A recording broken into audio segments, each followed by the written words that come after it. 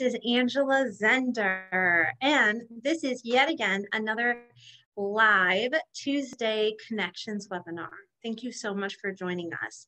What I'm going to do right now is I'm just going to start um, a webinar to be live on Facebook for those of for the people who aren't able to join us on Zoom right now we're just going to share it on Facebook because last week we had about half of our people watching on Zoom and the other half was watching on Facebook. We want to be able to reach as many people as we can because we feel that this message is important and we want people to be able to hear it. So in just a minute or two, Dr. Ray and Jean will be on and the topic for tonight is concerning anxiety. So yes, that is a uh, quite a broad topic, I would say. You know, one thing you could think about is in what ways does your anxiety manifest? Also, answer the question of do you have anxiety or not? Was there a certain time in your life when you were more anxious? Are there people around you who identify as being anxious or not? And what does anxiety mean? Right? So we're going to talk about it, talk about, you know, our own thoughts and experiences with anxiety, but also what the research says and what certain theorists and books say about anxiety, right? And also it varies among cultures and societies, right? So just think right now about how your family thought of anxiety and where you might have learned it from. Hello, Dr. Ray and Jean. Hi, Hello, Angela. How are you? I'm doing lovely, thank you. At the moment, um, we are just uh, loading as we're going live on Facebook. Okay, that sounds good. We're just testing cameras, angles, and everything too. Okay, so I, I think that's perfect. So I did set up everyone so far with what the topic will be tonight. It's mm-hmm. concerning mm-hmm. anxiety. And I know that I'll be a big part of this. I'm just going to take a couple more minutes away from the screen to make sure we get the Facebook Live running, and then I'll come back and jump in. Does sounds, sound good. good? Sounds good. Okay. So today we want to talk about anxiety, which, what's your statistics that you got on that? It is the most common mental illness in the United States. 40 million Americans wow. suffering from anxiety. You know, the interesting thing about anxiety is it affects us not just emotionally, it affects us physically and it affects our thinking mm-hmm. and, it, and it's all wrapped together. And so we are able to via this biofeedback system and really rev ourselves up. And then we get kind of stuck in that fight, flight, or freeze. And it actually feels more uncomfortable to release it, to let it go. It's a really difficult thing to uh, try to balance. I think in our experience, the people medicated for anxiety are the least compliant. So, anxiety specifically is something that we need, mm-hmm. right? We have worry, we have fear, we have sadness, we have all of those emotions for a reason. And anxiety is just one of them. It serves a function. Mm-hmm. You know, as species on this planet develop, they all start with the emotion of fear. And then as human beings, we have evolved to have a multitude of emotions, anxiety and worry being one yeah, anxiety is like pay attention, something's not right. It helps us prepare mm-hmm. for something in the future. It helps us prepare for any type of threats that might be in our environment. And so, you know, when our brain starts searching for threats in the environment, it doesn't have a dimmer switch. It's just on or off. And so it's just constantly going to be, you know, searching and searching until it finds a threat. And then once that threat is neutralized or it goes away, then it continues to search. It searches for other threats. And so it, it doesn't really turn off unless we actively turn it off. Mm-hmm. And so it's very, it's not surprising that it is the most common mental illness that Americans suffer from, right? Anxiety disorders, right? And there's a multitude of them, and we're not going to get into all of the different ones, but you know, it's not a surprise because we are just bombarded by so much stimuli. We're bombarded by media. We're bombarded by you know all these types of threats. You know that our brain can't distinguish uh, between a, a tiger jumping out of the bushes or you just got a, a bill from the IRS. Right. right. And so when you're dealing with anxiety, there is so many coping skills that you can use and all of them work some of the time and some of the time none of them work and that's a really hard part about anxiety because we all have it. We all experience it at some level and it it hijacks us like very quickly when we go through it. I remember sometimes we're public speaking and i'll just be la la la la la and then and then uh, you just forget just blank out right? And it's it's funny to watch your mind just go hmm, gone just gone. Right. It's so funny.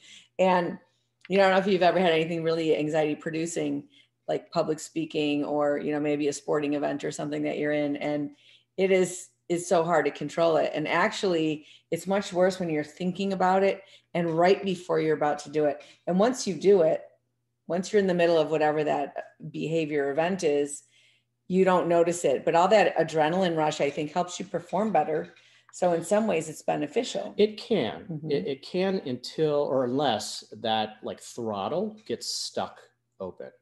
And so if it gets stuck open and you're not able to calm yourself down and start that parasympathetic uh, nervous system response and just calm and relax yourself, then you'll just start jumping from one thing to the other to find yourself even more ramped up and even even more anxious. And that's that's typically how a panic attack starts right? Is that it starts with the thinking and then your body takes over the physiological responses that you know your body starts pumping the adrenaline as you're talking about heart rate uh, you know accelerates respiration accelerates you know blood pressure increases and so with those that biofeedback system your body giving you your brain that signal that you are having this type of a response, it it increases that response.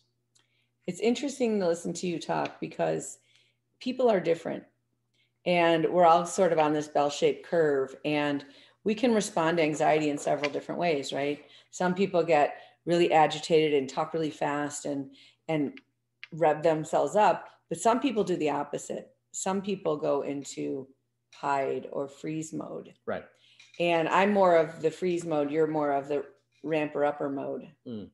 And so it's a little bit different. So in, in, the middle of something that is very anxiety producing, I will look very calm and, um, and even almost like I don't care, but it's just a different way that I learn to respond to things. And maybe there is some of that that's a little hardwired, you know, that we, we have a temperament like that, maybe even at birth you know it's it's always interesting when you have more than one kid and you see even right from the beginning you know some babies sleep some babies don't. Some eat regularly some don't. Some are easier to soothe some are not. Mm-hmm. and that's all part of that system and so uh, I, think that's why everyone has to learn themselves yes what works for them what doesn't work for them and, and not just kind of run to a quick fix you know meaning run for medication, right? And I'm not saying that medication isn't necessary. It absolutely is, you know, but I think that too often what we do is we try to just get rid of what we're feeling instead of trying to understand why we're feeling it and where it's coming from.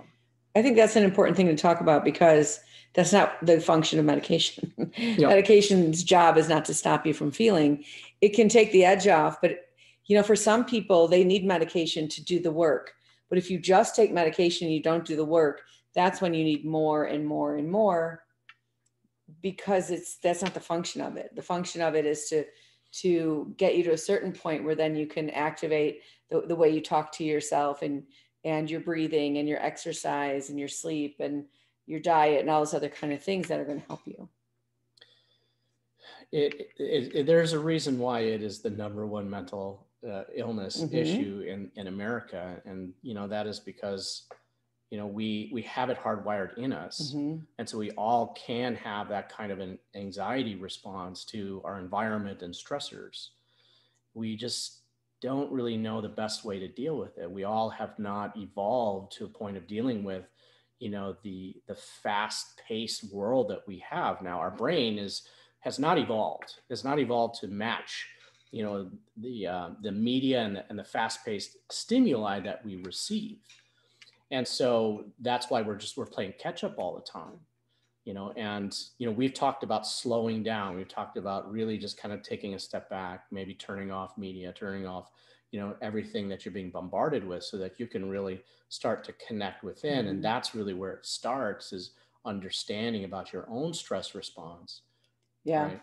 a really interesting way to understand that is music. I mean if you walk into a room and there's classical music playing that's going to impact your nervous system very differently than um, a pop song or a heavy metal song or jazz or something else. everything is going to evoke different like emotion within us that is going to sh- change us. And so that's an important thing to know about yourself. There's some people that absolutely feel much calmer with the heavy thrashing music. And some people feel very anxiety produced when there's classical music. Mm-hmm. It just sort of depends. I always think about anxiety like having a passenger in your car. Um, are they sitting next to you telling you how to drive? Are they in the back seat? Are they in the trunk? Are they driving? They're not going away. Are they sitting on top of the roof? right.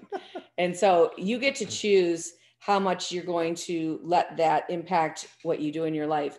And actually, the more behaviors you choose that reinforce your anxiety, the stronger your anxiety becomes. And the more you combat those things, the more you push through the anxiety and do behaviors that you're anxious about, the more of the edge that's going to come off. Mm-hmm. Absolutely. You know, um, Ange, we, um, you've had some personal experience with, you know, kind of battling anxiety. Wonder if you wanted to kind of talk a little bit about that. We're going to have a discussion about that. I would love to. Now, what I would really love is if we're able to get both of us on the screen at the same time who knows? That might work. Um, But if not, then it'll be work? speaker view. I see both of us, so okay, hopefully. wonderful. Yeah. so um, yes. So you said battle with anxiety.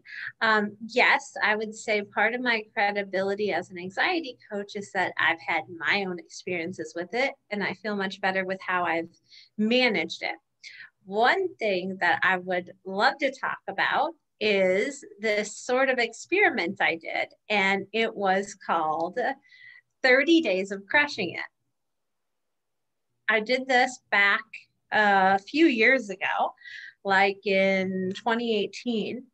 And exactly what you two were saying about um, how we have the tendency to avoid things that we're afraid of, right? Um, that we think will be bad you know, whatever that means. And I was saying, you know, I do a lot of avoiding, but I also have a lot of goals for myself. So why don't I make a rule for myself? And that rule was going to be that for 30 days, I would do something that made me anxious every day. Now, do you think that was easy or hard? Uh, I think pretty difficult. Hmm, that's interesting.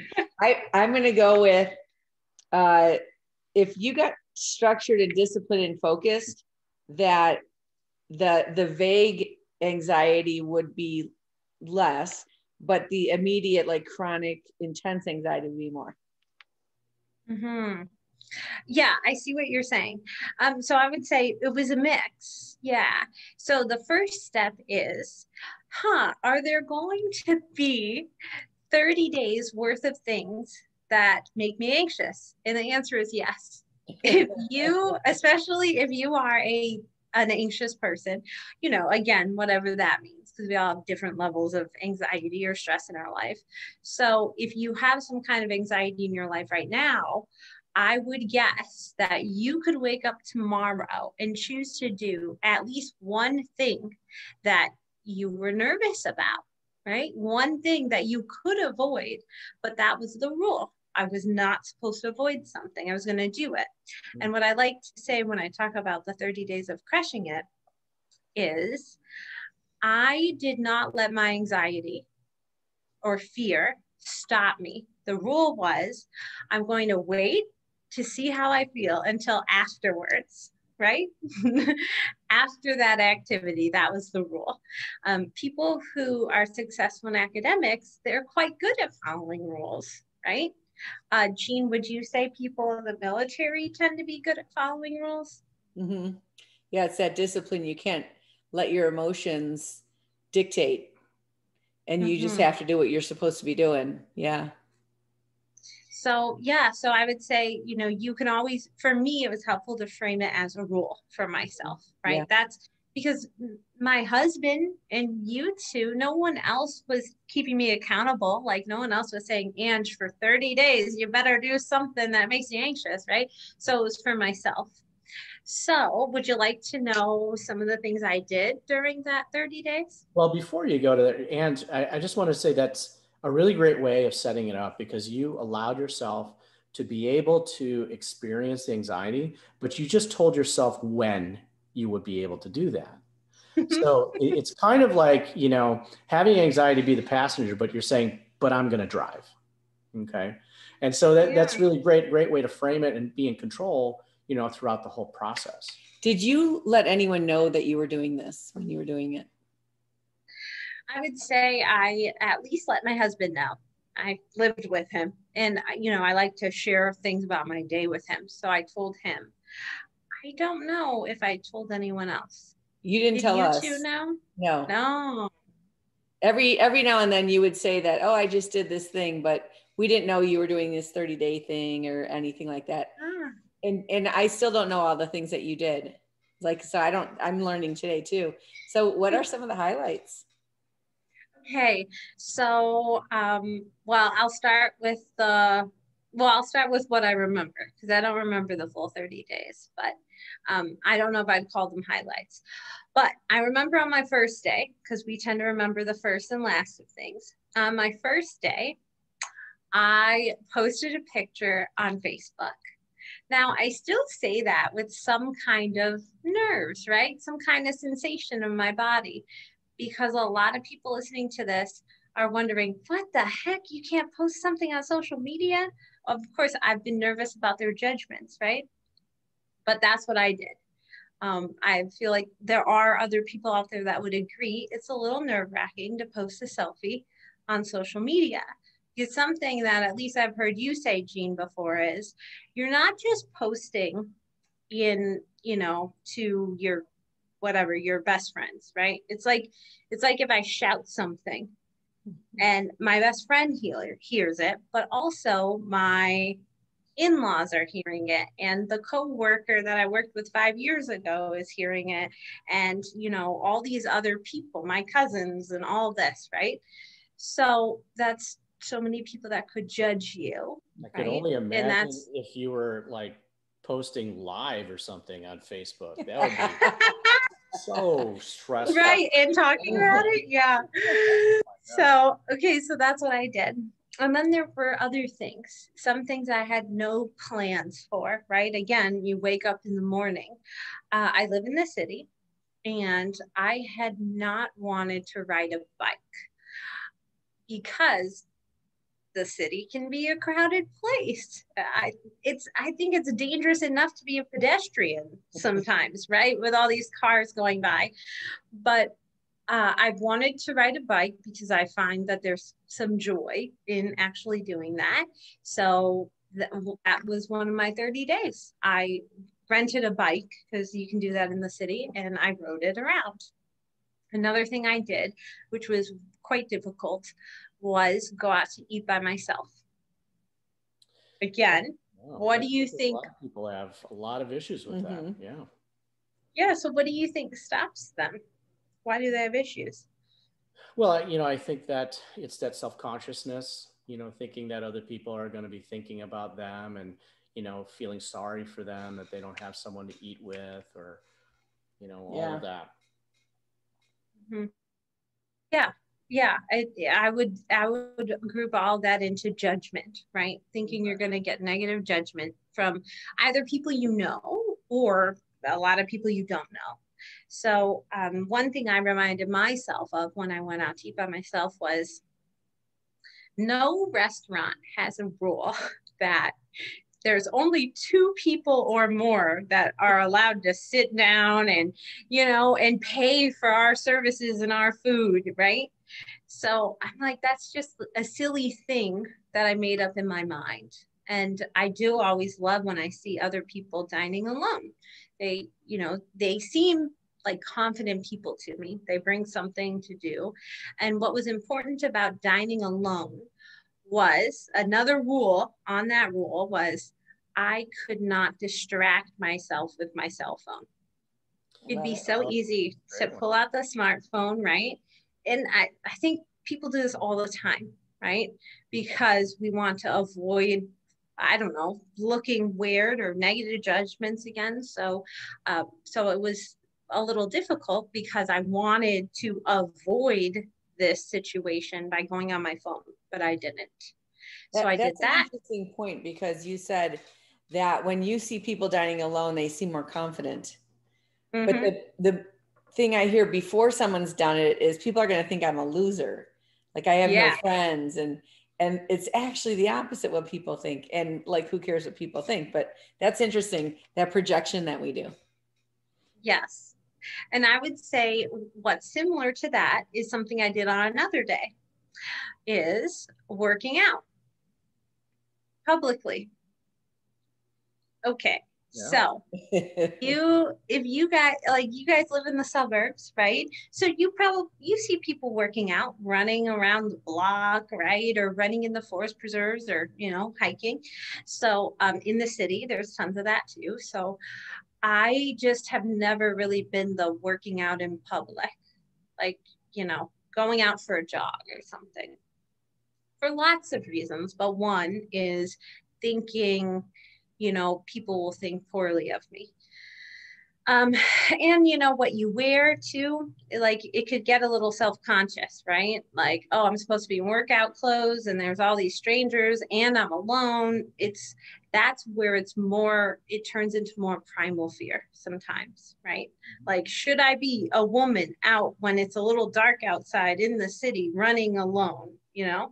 So, with all of those things said, um, I went out and I started jogging, which, you know, I, I followed my gut when it came to, you know, uh, being light outside still and being close to my home and wearing what I felt comfortable in. So uh, that went fine. I, I, would say that went well, right? Um, I say it was similar to the last one because if I see people working out, I don't think about them for longer than a minute afterwards. I don't go home think, oh, what is that person doing? Why were they wearing that? Right. so the same thing. They weren't, nobody was thinking about me afterwards. Yeah, that's interesting. Like I, I think I'm self-conscious doing yoga at at the gym, which is where people work out. But like people kind of do yoga in a yoga class. It is that's an interesting thing that the anxiety producing things that we have. Well, I mean, yeah, I mean, we can make anything anxiety producing. now, I understand you did something really extreme, though. Well, um, I, yes. Would you like me to get there? Yeah, but I have to tell you the steps before it. Okay. okay. So, um, because this i would say it's an important thing. So one of my 30 days was i made plans to do something that you know ray calls extreme right? So that meant uh, my thing for the day was scheduling something right? So for me it was online. I had to click a button and you know probably pay for it. And i really like to give that some kind of praise or power because that's the first step towards doing anything new or big, right? You think about like taking a big trip, right? It's not like all of a sudden you're in Italy, right? No, there was planning that went into it. At one point in time, you had to buy a flight, right? One point in time, you had to pick what hotel you were going to stay at. You know, you had to pick maybe attractions you were going to see um, you had to save money for that ride or that flight, whatever. So you had to do something before that big trip was accomplished. so similar for this thing, right? That was my first step. I didn't avoid it by not clicking or saying, I don't want to spend the money. This was something I wanted to do for a while. I knew it was going to be like physically anxiety provoking, but I've known other people who've done it. And I was just like, why not? Why haven't I done it yet? So my husband was like, I'm anxious. I don't want you to do it. Which the people pleaser in me, I don't like that he was feeling anything other than good about it, right? But I also explained to him, well, although you don't feel great about it, I do. And I'm not doing this for you, I'm doing it for me. So all of that in the rest of my 30 days went exactly how they were supposed to. I did some days of um, doing something for my anxiety, like I'm going to rest today and I'm not going to regret it. I'm not going to beat myself up for it, right? I'm going to take a nice hot bath with lavender Epsom salts. So there were a couple other things that were not anxiety provoking, but to better manage general anxiety. Mm-hmm. On the 30th day, I went skydiving. Yay! so that was my thing. So, and it was great as I expected it to be. And my body did not react in a super stressful way like I thought it would. I would still call that extreme. was there any time okay.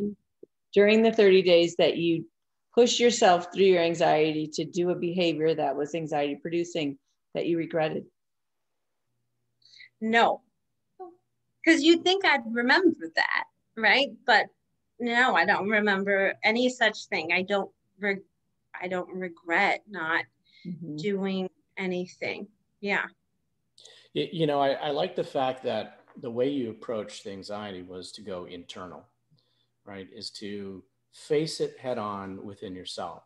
And too often, what people do with anxiety is they go external is that if I feel this way on the inside, then I need to control everything outside of my environment and make that so that I don't feel that anxiety. right?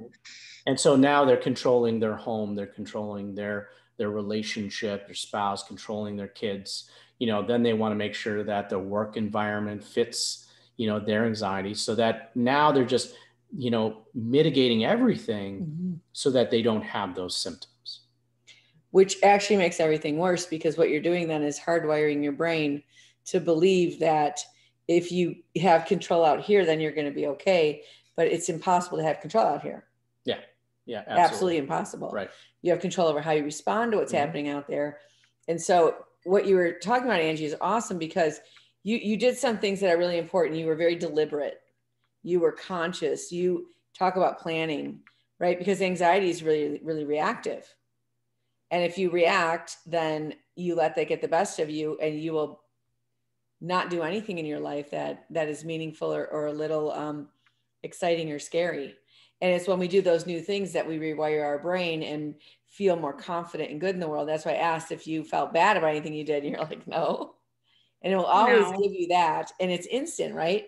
Like probably the day you went skydiving, you were probably like super you know excited for the rest of the day just a, a big high that you're on and not not mm-hmm. an anxiety one right and i what i would add to all this talk about the 30 days is a lot of things i mentioned were uh, physical things right so eh, that's not just what makes people anxious right one of the things that i surprised myself that i did um, it was more on the emotional track there was someone in my life that um, I have not spoken to in a very long time for many, many reasons. Neither one of us spoke to each other. So, one of these days, in those 30 days, I was thinking, oh, I want to contact that person. But I was I was afraid to call them up. So I, I messaged them, you know, sort of like a text. Yeah. So oh, however it was, however I communicated online with them, you know, I messaged them. And then the next day, I had enough guts to just call them. And then we had a phone conversation, the first one in like 10 years. I mean, if that's not a step towards healing and a step towards forgiving and a step towards letting go of some past, you know, argument or whatever, you know, this was a mutual hurt that neither one of us did it to each other, but because of a mutual hurt, we didn't have any interest in talking to each other, right? But like that, just the step of first thinking about them, reaching out to them one way, it just led me to giving them a call. And I broke the ice on that one. And I would say it's awesome. Let me ask you this, Angie. If it had not turned out that way, let's say you didn't get a good reaction from the other person, yeah. would it still have been worth it? I, I, I um, I see the complication in that question, right? Because I got the the better side, uh, you know, the better response. I would like to say it would still be worth it. I wouldn't beat myself up over it, but that's a discussion to have with my brain at that time. Mm-hmm. You know, to feel the the hurt or rejection or anger. Yeah. And still remind myself that I had the good intention and I don't regret it. See, that's the hard part when when we are making a goal, you know, for ourselves and it involves someone else. You know, it's an unpredictable element. We don't know how other people are going to react. You know, like if you had told a lot of people, you know, hey, I'm going skydiving, I'm sure you would have gotten a plethora of responses from people, and that might have, you For know, sure. maybe deterred, you know, your yeah. not doing it, right? And so, would have. This is, I mean, this is the, the one person part. that knew didn't want her to do That's it. That's right. The one person who knew didn't want you to do it. You know, you know and, and this is the tricky part about facing your anxiety. And that is that, you know, it does a, you have to do a lot of self discovery mm-hmm. and you have to really dig deep into what your truth is, right? And what your authenticity is. Because if you're not connected with that, then it'd be very easy to be pulled off course by what other people think and what other people's opinions are, whether you should or shouldn't, right?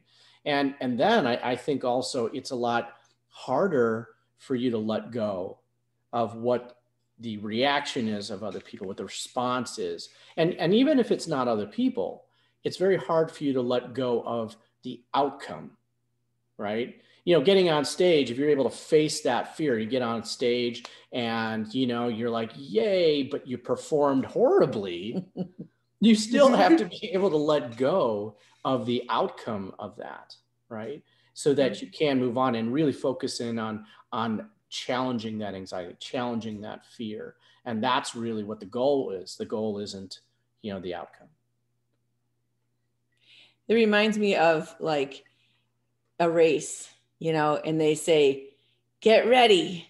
And you put yourself in this position and get set. And you're like, and then you don't do it. And you just stay in that place of, I'm set. I'm so anxious, you know? Yeah. Yeah. and then if you just go, it resolves. But if you never go, you go back and, you know, like diving, jumping off a diving board that's really high, instead of jumping, you like crawl back down the ladder. yeah.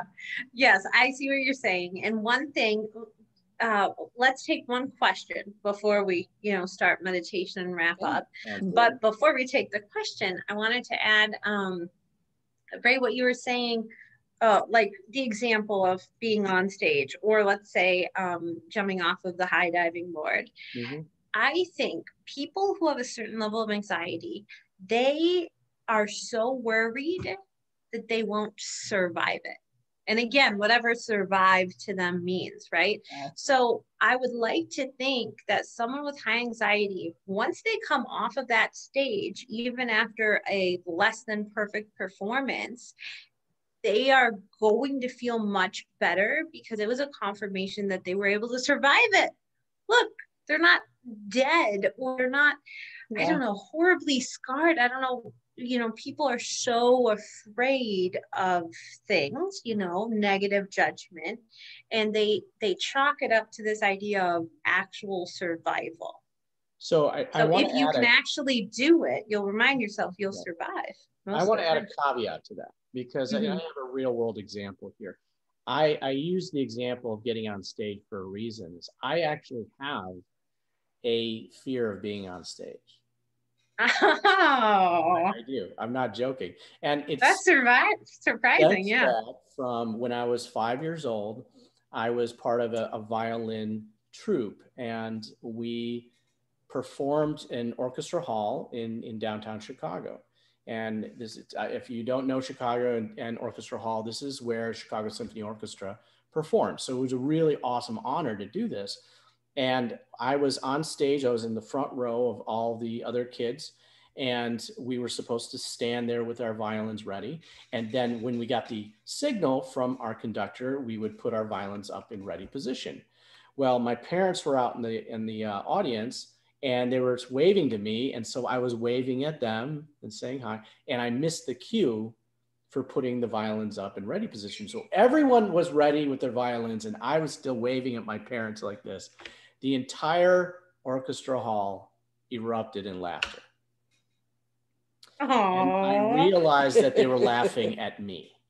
Okay. Aww. So since yeah. five years old, I mean that's you know very young age, and so you know this is very important for people to understand. Is no matter how many times I get up in front of an audience, no matter times I am doing Facebook Live, or you know right before going to Facebook Live, our camera goes on the fritz and can't get them to go. So you know no matter what happens, right, there is still an anxiety response so you're always going to have this knee jerk reaction, you know, to whatever it is that had produced that anxiety response early on. Now you can work at it and you can continue to, to kind of smooth over the rough edges, but you need to realize that there is always going to be that little bit of a knee jerk response. And you know, you, you build some coping mechanisms around it, you force yourself, you get yourself back, you know, in facing that fear over and over again okay but it's never going to totally go away okay mm-hmm. so that, that's just really important for people to know because i think people yeah. think well, I, I i can't do this. I'm i'm not perfect right? I keep making this mistake over and over and over and over again and then they give up. And it's not about giving up. It's about learning more and more about yourself each time you face that challenge. I agree. Okay. Thank you for sharing. You know, before we go into meditation, we want to talk a little bit about your your anxiety group. Oh, uh, sh- sh- let's answer this question super quick. Oh yeah, yeah. Go ahead. Quick as we can. Okay. So somebody says, I have a parent who is not stable and did not call me for my birthday. Mm-hmm. Their birthday is coming up and it's getting me a little nervous.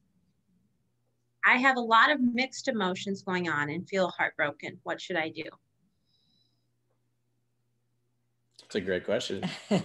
you know, I think birthdays are a great example of feeling that that uh, exposure and vulnerability and we have expectations and those expectations are they come from lots of places how we were treated as children all those kind of things and you know i remember my 30th birthday and i was li- living alone and didn't really have anyone to celebrate with. And I remember thinking, like, do I make my own cake? And that day I decided that I was going to own my birthday. I was going to do what I wanted for myself, take really good care of myself. And and that I wasn't really going to celebrate my birthday with anyone else ever again unless it was something I wanted. And I do that. And and sometimes my mom doesn't like it because she wants to see me on my birthday, but I still be selfish on my birthday. People will absolutely let you down, but you know what? Someone else, someone else that you don't expect at all is going to acknowledge you in a way that feels really great.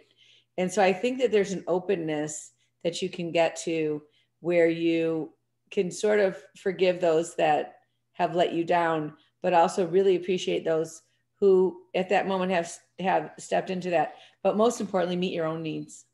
Yeah, and if you meet your own needs, then anything that is coming towards you from other people is only going to be a, a bonus mm-hmm. Right and so you, you know when you think about that scorecard and i think this is you know kind of along the lines of that question is that you know this person i said happy birthday so they should say happy birthday and you know the scorecard is always going to let you down right? And all the focus only is going to be on, you know, keeping score and really not about what it means to you. You know, if you in, intentionally from a place of, you know, humbleness, you say happy birthday because you truly mean it, and the person never says happy birthday to you, you can walk away without any regrets. But if you are saying happy birthday, you know, like giving a gift with strings attached, then you are going to be let down. Maybe not that time, but eventually you are going to be let down. And so letting go, again, letting go of the outcome is really important, especially when it comes to other people who we have no control of.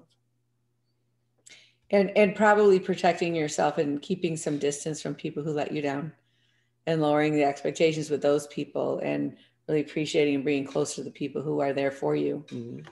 And you know, those are probably some of the things that you're going to be doing in your crushing it anxiety group that you can mm-hmm. teach people some of these great skills that you've developed in yourself over the years. Do you want to talk just a little bit about your group? Yeah, yeah, we have time because the meditation will be short anyway.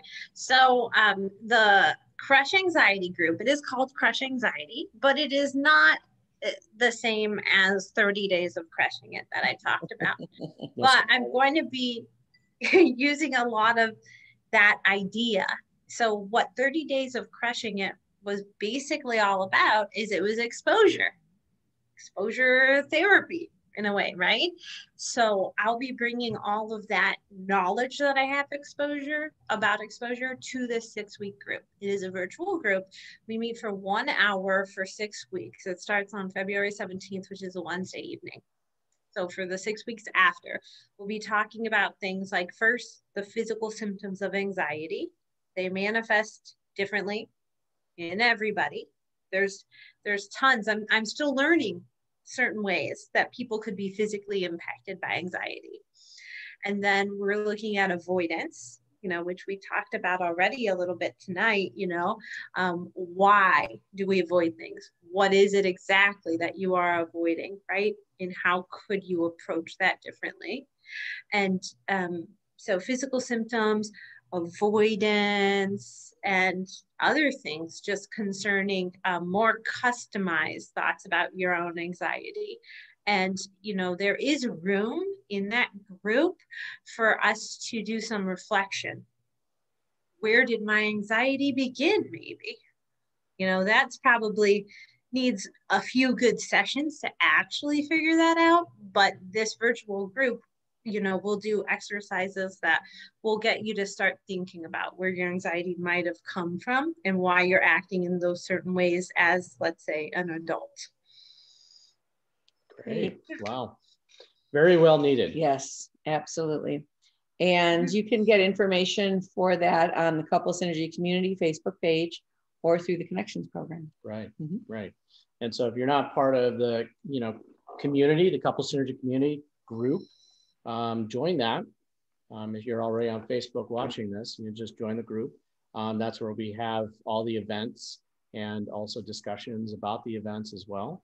And if you're not on Connections, you know, Connections that we do this weekly webinar on Connections and then we just stream it live to Facebook. But, you know, there are a ton of other groups that are also uh, offered on Connections as well as the recordings of all of these weekly webinars. You can access all of them, mm-hmm. you know, which we've been going at this how many weeks now, Ange? I think 14 or something, maybe? Yes. Is this our 14th? Yeah, or our 15th. Maybe 15th. So I'm taking a break from leading today so I can just enjoy the meditation. And Angie's going to guide us today. Okay, so um, what I want everyone to do right now, because sometimes it can be nice before I ask you to close your eyes, is just take a nice breath in.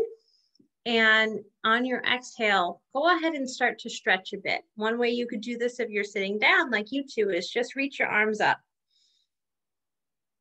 Sort of extend your fingertips, give them a little squeeze, and let your arms come back to your side. And when you're ready, take a breath and on your exhale, let your eyelids close.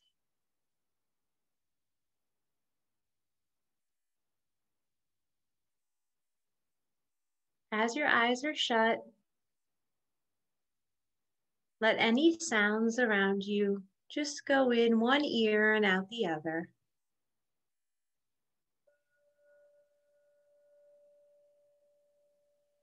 And as you're sitting here, notice your breath, whether it's quick or slow, whether it's shallow or deep. Just remind yourself that your body is breathing exactly as it needs to in this moment.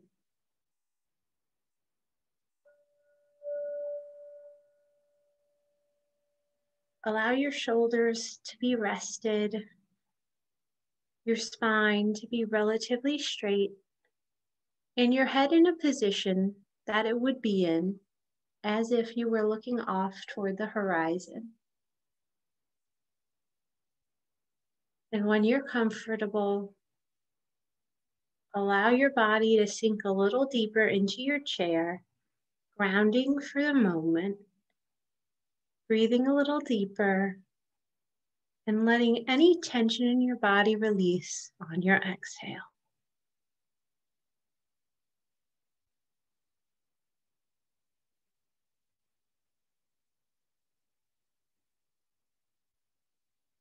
And in your mind's eye, as you're feeling calm in the moment, breathing as you need to,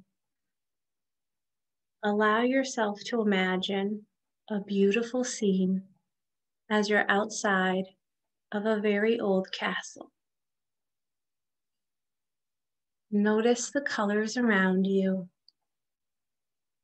the colors of the sky, of the trees, the stone, and how the castle you're standing in front of is so massively tall. So tall, the clouds are surrounding the top.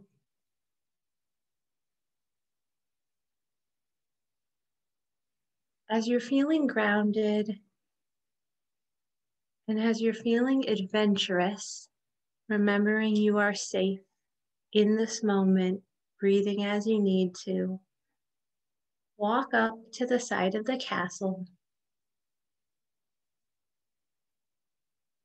and notice you come across a very large old ladder. Put your hands on the ladder and look up. It's so extremely long, you can't see the edge of it. You can't see the top of the castle you're in front of. But go ahead and start climbing. With your breath, go ahead and take each step nice and steady, nice and slow, putting your hands on each rung, grasping, moving up, breathing as you need to before you stop and look down. You're quite high. The trees around look different. And the sky has started to change with clouds moving among it. The colors of the sky slightly different as before because time moves so quickly. At the moment, allow any anxiety you have in your life to wash over you.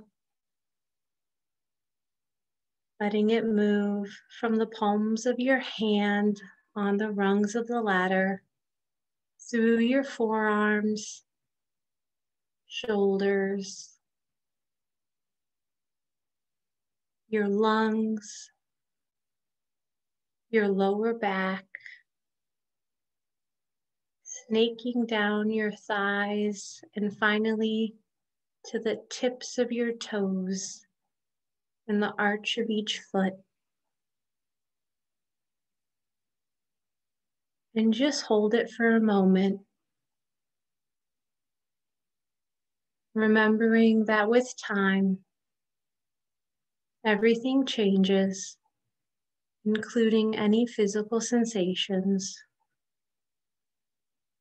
any stress, any worry, any trauma. And begin to move up the ladder again, breathing a little deeper. With each exhale now, consciously release that tension from the palms of your hands and let it release from the arch in each foot, imagining you're pulling yourself up that ladder, pushing up with each step, breathing as you need to, feeling stronger until you reach the top. And all you see is white with clouds around you, not being able to see the bottom. As you're at the tip of the ladder, climb over at the top of the castle and stand tall. Allow your arms to be stretched up towards the sky and enjoy your breath.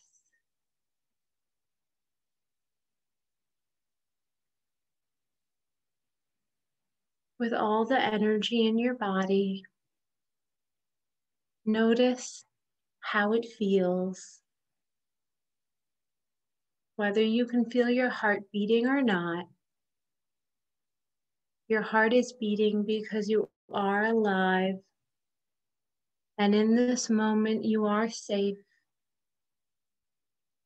And in this moment, your body is breathing and working exactly as it needs to. Feel the victory at the top of this castle and notice again how the sky has changed.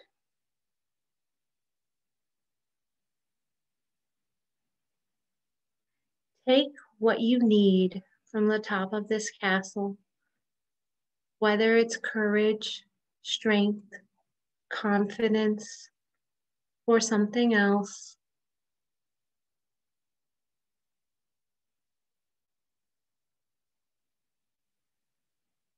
Breathe a little deeper, absorbing that energy,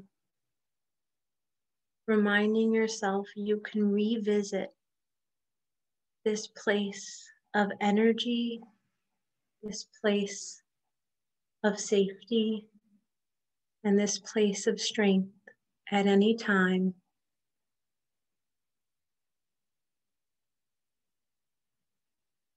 On your next breath in, Allow everything around you to disappear. Coming right back with your eyes still closed to the spot you're in. Feeling pulled towards the ground.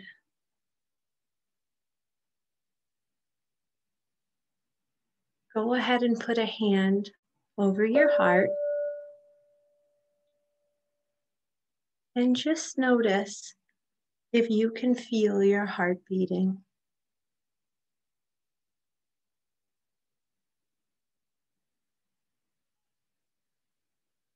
With your hand, press gently into your chest, breathing a little deeper.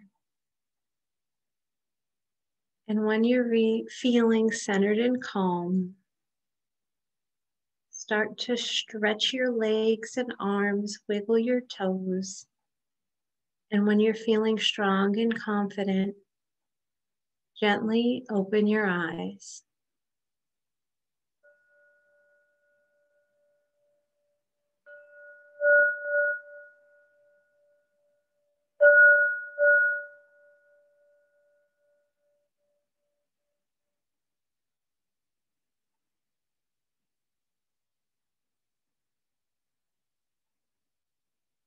Well, thank you for joining me during that meditation. Thanks for lovely. leading that meditation, Angie. Very cool. Ooh. Welcome. That was fun. Yeah. Well, thank you all for joining us today on Couple Synergy. And um, be sure to, you know, send us any questions or topic suggestions too. You guys can, you know, either send it through our, our Facebook page, Couple Synergy, or email us at contact at couplesynergy.com. Until next time. Until next time, synergize your life and synergize your love. Bye.